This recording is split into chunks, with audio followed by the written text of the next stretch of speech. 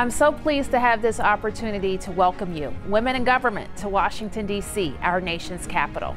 Thank you for being here today to participate in important discussions. As a woman and the mayor of Washington, D.C., I know how important your voices are to our country. Keep up the good work.